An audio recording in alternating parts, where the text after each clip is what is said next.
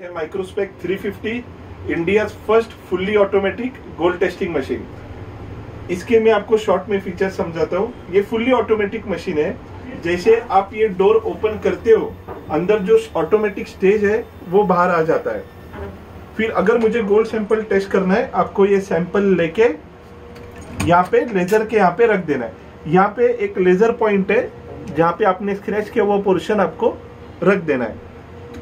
सो so, अभी ये ready है। अभी इसमें आपको कोई भी फ़िज़िकल मैनुअल सेटिंग्स नहीं करनी है सिर्फ़ आपको डोर क्लोज करना है। जैसे ही आप डोर क्लोज करते हो आप कैमरा पे देख सकते हो स्टेज अंदर जाके अपने टेस्टिंग पोजीशन पे आके रुक जाता है। अभी स्टेज अपने टेस्टिंग पोजीशन पे रुक गया है। अभी मुझे उसको हाइट ऊपर लेना है या फोकसिंग करना है तो मैं ये जो स्टेज कंट्रोल का विंडो है यहाँ से उसको मैं मूव कर सकता हूँ। अभी आप देख सकते हैं कि मैं स्टेज को ऊपर मूव कर रहा हूँ। तो अभी मुझे करना यह है कि ये जो लेजर आप देख रहे हो उसको सेंटर में लेना है। सो so, बाकी मशीन जैसा आपको लेजर सेंटर में लेने के लिए कोई मैनुअल वर्क नहीं करना है। आपको सिर्फ़ लेजर ये जब भी पास में आ जाता है आपको फोकस पे क्लिक करना है।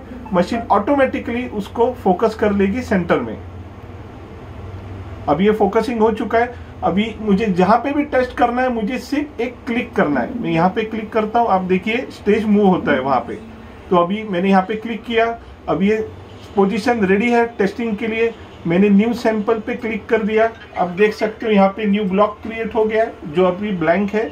और मैं यहाँ पे मेजर क्लिक कर रहा हूँ। जैसे ही मेजर क्लिक किया, आप देख सकते हैं कि अभी टेस्टिंग स्टार्ट हो गया एक्सरे ऑन हो चुके हैं 44 सेकेंड के लिए।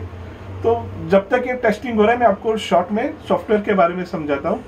यहाँ पे ये सारे ब्लॉक्स है। आज दिन भर हम लोग ने जो सैंपल टेस्ट किए आप कोई भी ब्लॉक पे क्लिक करोगे तो उसके जो रिजल्ट्स है, ये एक साइड टेस्ट की है सेकेंड साइड है, ये उसके रिजल्ट्स है और यहाँ पे उसका एवरेज है। तो ये सारा डेटा यहाँ पे रिकॉर्ड पे रह जाता है। देन यहाँ पे टाइम सेटिंग है, अभी 45 सेकेंड्स पे हमने सेट किया है। आप इजीली यहाँ से टाइम चेंज कर सकते हो। न्यू सैंपल आपको जब भी नया सैंपल आप मशीन में रखते हो, आपको न्यू सैंपल क्रिएट करके न्यू सैंपल पे क्लिक करके क्रिएट करना है ब्लॉक और ये स्टार्ट एंड स्टॉप का बटन है। सो वेरी सिंपल सॉफ्टवेयर इसमें ज़्यादा कुछ आपको करने की ज़रूरत नहीं है। जैसे ही आप सुबह मशीन ऑन करते हो तो आपको स्टैंडर्ड सैंपल रख के सिस्टम एडजस्ट पे क्लिक करना है। मशीन 45 सेकंड से वन मिनट में खुद को रेडी कर लेती है। तो अभी आप देख सकते हो कि 45 सेकंड खत्म हुए फ़र्स्ट रीडिंग आ चुकी है। 91.58 एयू की रिज़ल्ट है। अभी इसका एक्चुअल रीडिंग मैं आपको दिखाता हूँ। अभी जैसे ही मैं डोर फिर से